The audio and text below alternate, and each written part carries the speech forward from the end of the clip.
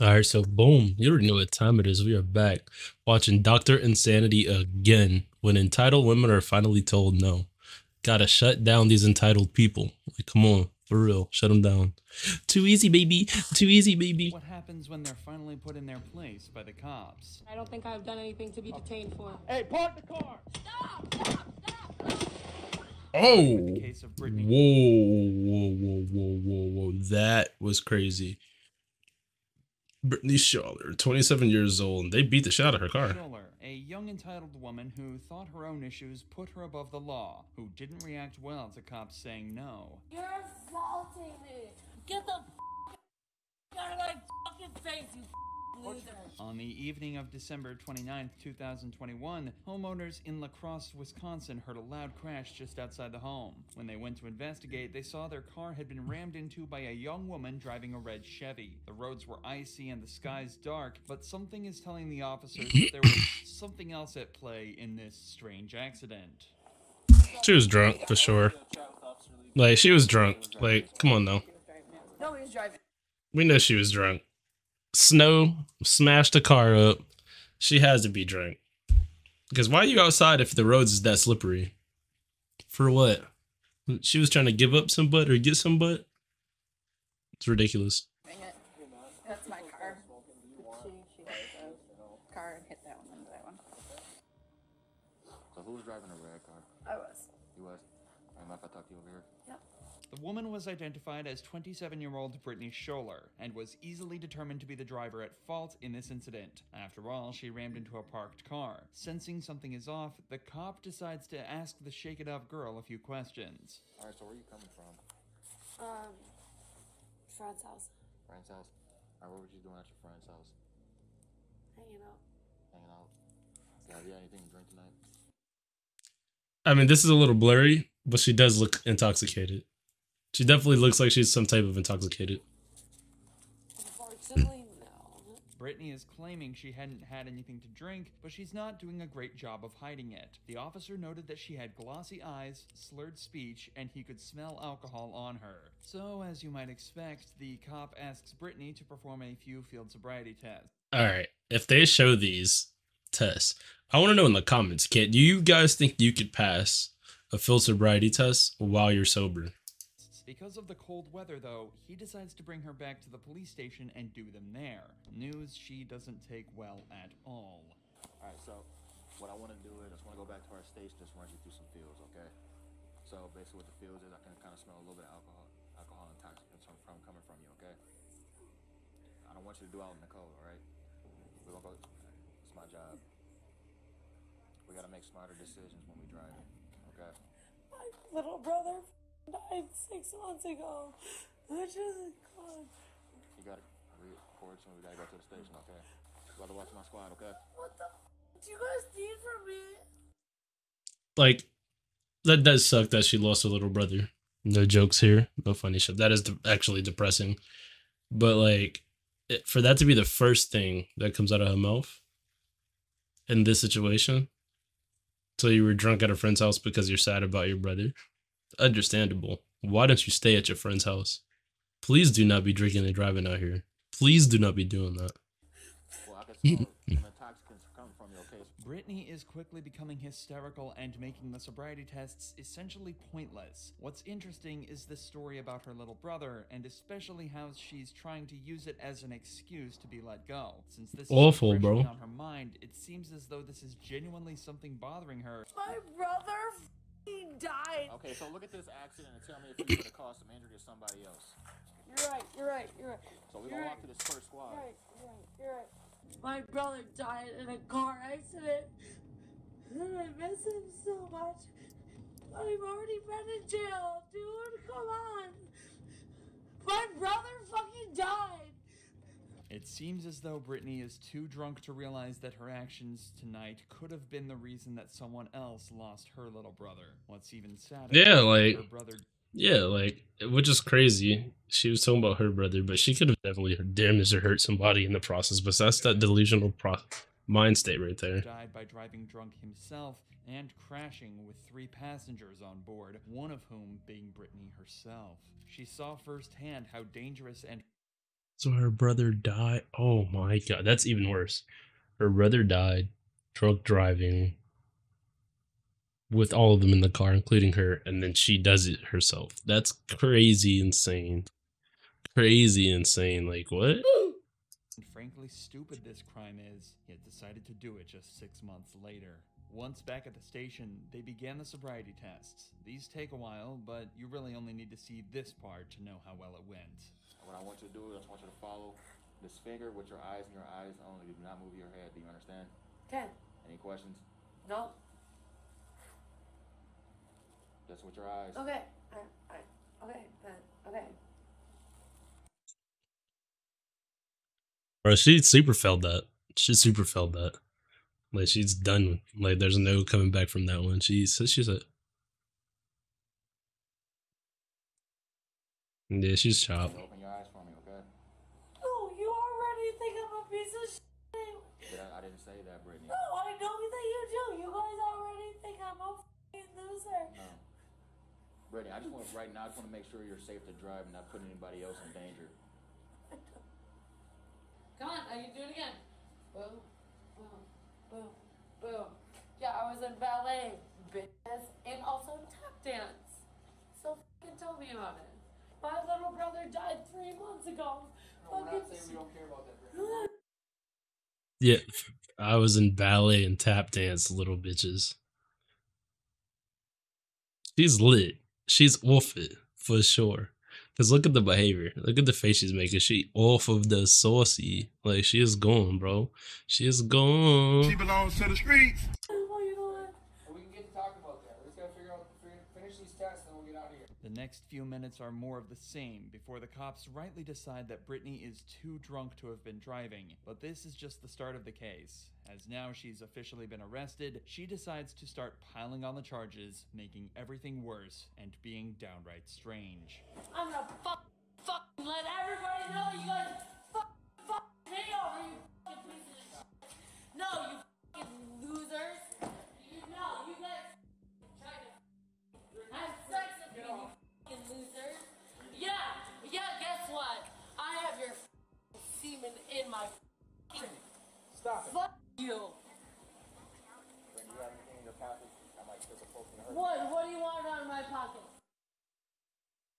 everything she just said was insane. Like she's pretty much bringing up crazy things towards them that could potentially get them in trouble if it wasn't all if this wasn't all recorded. What do you want out of my pocket?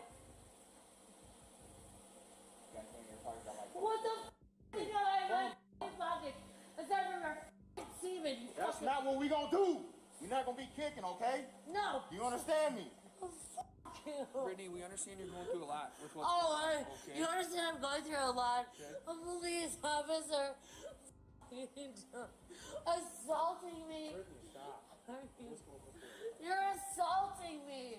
You're assaulting me. Are you serious? What the f- What the Brittany, get your foot in the car. You're assaulting me. Brittany, get your foot in the car. You're assaulting She's now accusing the cops of assault. Like, come on now. She probably was really lit. She did smash up a couple vehicles. Now she out here talking out the side of her whatever. And then she's just that shit is what? Of numerous kinds, as well as kicking the cops and resisting arrest. She is becoming hysterical, and nothing she's doing is helping her case. Take a look at how she acts when she's reminded again that she's under arrest. The faster we get this process done, the faster we can call your mom. For what? What have I done wrong? You're under arrest for OWI. For what? For operating while under the influence. Okay? The faster we get this process done, the faster Call my we will call your mom, Brittany, okay? Brittany, there's just some things You're f***ing Is this crazy? Look at this. You try to me. What? And they're just being so patient. Let this have been a whole nother situation. Gunshot guns would have been blown. Bang bang. Motherfuckers would have been out of there. Like it's crazy to me. Are you serious? Get the fuck out of my face, you piece of fuck. Get the fuck out of my What we gonna do? face! We're not gonna be. You! gonna Get be the taken- fuck out of my fucking face! Get the fuck out of my fucking face, you loser! Put your feet. Imagine being a fucking piece of shit! Get the Her Imagine being a fucking piece of shit. Case. She remained uncooperative while getting her blood drawn at the hospital, tried to kick officers and resist back at the station, and the cops even had to remove the chairs from the interview room because she was kicking them around so much. At one point, she even tried escaping the interview room while she was handcuffed. No, no, no, no, this is not, no, this is not acceptable. Dude, get your hands off of me. We can't have you walking around. Please stop. Get your hands off of me. I don't want you to get hurt. This is to- not Stop. I acceptable. need you to sit down. Get your f***ing hands off of me. Bro, look, she looked drunk as hell, Yankee Lang. Like, whatever she was drinking, put her on a new level. Brittany was eventually She boxing with the arrested and cops. Felony battery to an officer, disorderly conduct, operating a vehicle while under the influence, and failure to keep Damn. the vehicle under control. Her exact sentence is unknown, but somehow, even with all of this strange behavior, she still didn't manage to get the officers as worked up as this entitled woman did. Bro, okay, yeah, yeah. This right here, bro. This right here. They were smashing her car. So hopefully whatever she did matches this behavior. Cause the cops in the last thing, they kept it calm and she was tweaked out. So I'm trying to see what is about on this one. In June of 2020, BLM protests were at an all time high, and the police felt the need to monitor them and ensure no laws were being broken. During one of these protests in Orlando, an officer noticed a vehicle blocking a lane of traffic. Why I got it. This, of course, is one's in Orlando. Of course, this one's in Florida. That makes sense. This is in Florida. This is going to be an insane story. We already know that. with its hazard lights on and decided to pull them over for a chat. This is the strange interaction that followed. Get out of the car. Do you want to go to jail? Seriously? Either get out of the car or you're going to jail. Why am I getting out of the car? 'Cause Why you're am I getting out of the car? I got it. You're stopped in the middle of the roadway. You're, you're violating a traffic violation. So at this point, you are being detained. Do you understand? Um, I wasn't doing anything besides I'm not going driving. to sit here and argue with you. I'm going to Okay. ask you to step out of the car. Okay, so I'm not a specialist on the law. But if she was driving, she pulled up there, they saw her sitting there. What traffic violation did she exactly break in this moment? Like before it gets out of hand. If y'all know, let me know in the comments for real, because like this is not my specialty. So Or we're going to re- remove you out of the car. Your choice. I'm trying to be nice. I have not been disrespectful. Have I? No, but I don't think I've done anything to be detained for. Do not reach into my car. Do not reach into my car. Stop. Stop. Hey, park the car. Stop. Stop. Stop. Get out of the car. Oh my God. Get out of the car. Put your hands behind your back. Car. Okay. Okay. Put your hands behind your back. Okay. Put your hands behind your back. Get out. Put your hands behind your back. There was an awful lot of debate around I'm very confused by that. Like, what the fuck? They wanted her to move. They could have just told her to move, but they never really made it clear exactly what the travel vi- the traffic violation was. They got to beating her windows in instantaneously. Do cops not realize that people would be nervous when seven cops pull up on them? uh, This shit too. Like, what was what did she actually do? Like, it doesn't really make a lot of sense to me. on these protests and interactions that we won't be going into, but with the phone recording and the immediate refusal of police orders, it's obvious this girl was acting extremely entitled. The cops recognized this immediately and knew that this conversation never goes anywhere, so decided to quickly put an end to it. The issue By is breaking the her car? breaking the window did look incredibly violent and obviously got all the other protesters pretty riled up. Can you put that car in park? Put the car in park. I didn't do anything. Put it in the car. What did she do? What did she do? What did she do? Yeah, it was in park.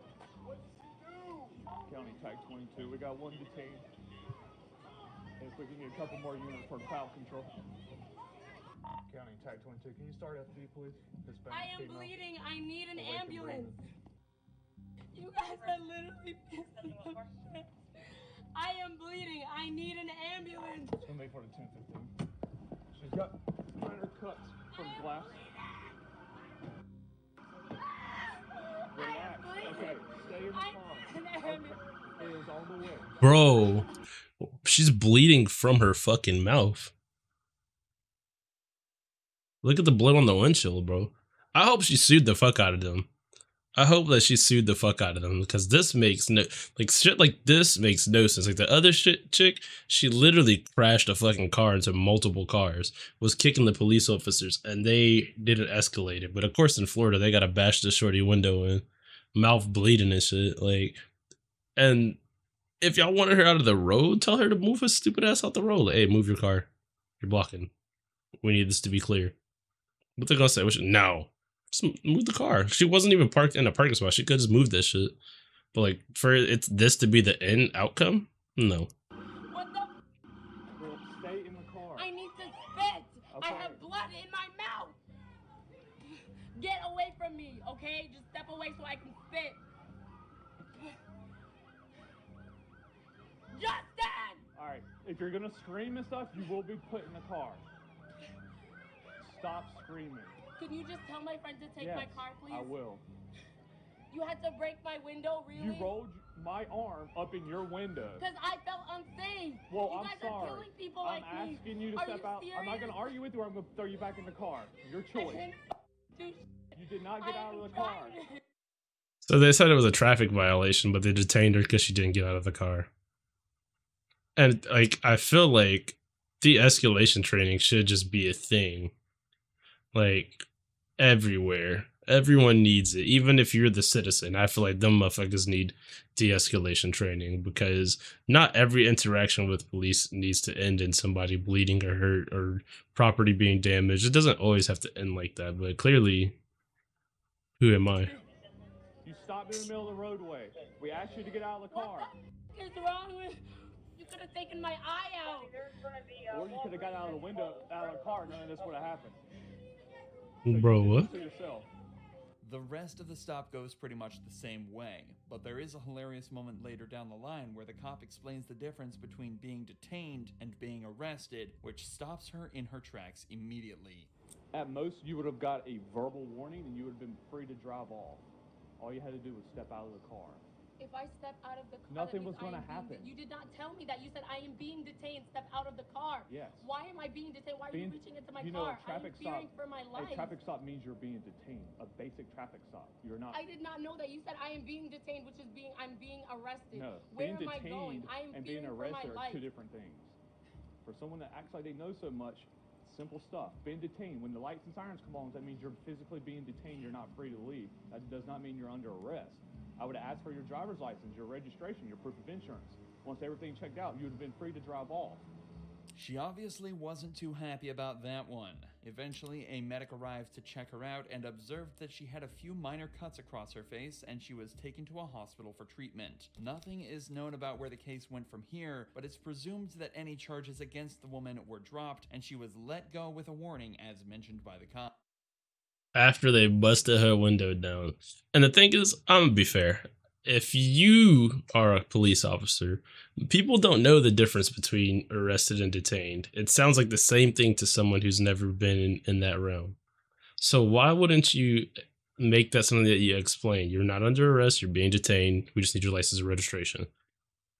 That seems like it would save I mean, not everyone, but it seems like that could save people some time and effort and drama and trauma. Like you feel me? Like that could make a big difference. Up. At the end of the day, this girl didn't really commit any crimes. She was just behaving badly and not complying with the police. But what happens if you mix that with one of the most despicable crimes you can commit? Now you seen the kids in the car left. On the 21st of August 2021, police were called to a blood bank on a sickening call. A passerby had reported two children stuck in the car at the height of the Ohio summer. 213 radio. What's the temperature? You uh, pointed out to me that you seen the kids in the car left. I talked to the little girl. She said she don't know how long she been in here. Okay. One is like an infant, probably like four or five. And I think the other one was like three, three or four. Okay. three-year-old here, was hanging out the car screaming, and then I saw the security guard and I asked him to come outside because this this is a serious matter, and I and I was like, you gotta call the police. This is not. This isn't okay. The cops do what they can to air out the car and keep the kids safe while they wait for their mother to turn up. But while they wait, they get some concerning news from the nurse. What's your mom's name? What is it? Tamisha. Tamisha. Yep. She was a new donor too. She's been in here for at least two hours. I know. She's been here for a long period of time. Yeah, long time. Like what? Every four hours? Uh, at least two. I can find out the start time if that's something you need. It turns out she'd been in the building for even longer than two hours. It's She left him in the extreme heat in a car for four hours. A tot like a toddler and a, a, a, a little, a little newborn type. Bro, eleven what the ten fuck? now, but she'd been inside since 7:30 that morning, leaving the kids to fend for themselves in the extreme heat of the car for almost 4 hours. When she finally showed up though, she of course had a very different story to tell. How long have you been in there? It's just, it's only been like an hour and a half, like, it's never, it hasn't been that long. Ma'am, Better too. An hour and a half to get from where I was. Hey, lad. I'm gonna see when she checked in. So she's been checked in with us since 7:30 a.m. 7:30 a.m. Okay. Oh my God, Lord Jesus. It's getting really warm out here now. It's really hot. And And what look, about? the baby's dressed in pants and long sleeves.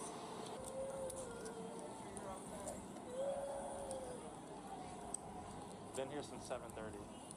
This is actually so depressing. If you didn't have anyone to watch your kids while you came and did this, you should have at least brought them inside. Yeah, it would have inconvenienced the people in there, but it would be better than leaving your kids in a hot ass car for four hours, right? Like, Here since 7:30. The nurse put into words what everyone was thinking. This is a nightmare scenario and a horrifying example of parental negligence, and things just keep getting worse. What happened to her arm? Why is her arm in a bandage? She burned her arm Okay. uh, couple like last week. How? She got to the arm when I was, I was running, and I had to wait for like a hot second, and she hasn't got to the arm. Okay, did she go to the hospital for that? Um, no, it just I um it, it was just that bad when I had you know when I had it seen, so I put ointment on it like uh, under the counter ointment, and then um counteracted. That's all I wanted to do. Okay. I'm just gonna check it, okay? I just wanna make sure it's infected. Police, however, we received a, a, a 911 call stating the vehicle was turned off with the windows up and the kids. Hey, can you come here? Yeah, Do me a favor. Start reaching in the vehicle. I'm trying to charge it so I can call. Okay. Um, the windows is rolled up. Yes, ma'am. And the kids are here alone. Yes, ma'am. All right. Yes, ma'am. We come here. However, they were unable. They were people here, bystanders, were able to, you know, open the door, give the kids some water. Okay. Yes, ma'am. However, this is serious. This is this is severity crime. Okay. You can't just leave the kids in the car unattended. All right. The car was not on. Yeah, I know. I wouldn't leave it on. Yeah, yeah I mean it's it's hot outside. You know what I mean? Oh, so you mean to? Okay. Even if it was on, people can take your children, Yeah. they can take your car, Yeah. and it's like near 85 degrees outside. bro, she don't give a fuck about them kids, bro. Look how she's acting about this situation. Clearly, she doesn't care, like at all. Dummy. Like, what the fuck, bro? Inside that car heats up very fast, and children at a young age are very sus- they're easily raise their temperature level All up. right. So I'm gonna go talk to my surgeon here. We want to discuss with you how we're gonna proceed. We're gonna go to the hospital, get the kids checked out. I'm gonna notify Child Family Services. All right. And we'll go from there. Okay. Okay. It's crazy that the cops should even have to explain this to the mother of not just one, but two kids. And even worse, she's crying as though she didn't expect this to happen, and it seems she especially wasn't expecting this. You pregnant or postpartum? No. Uh, go put your hands down. We're just detaining you right now, all right? I'm- put your hands I'm being your back. detained? Yes. Put your hands together like you're praying. Like you're praying. There you go. Don't see my baby. Yeah, stand by, all right? And you're getting arrested. Like, holy shit.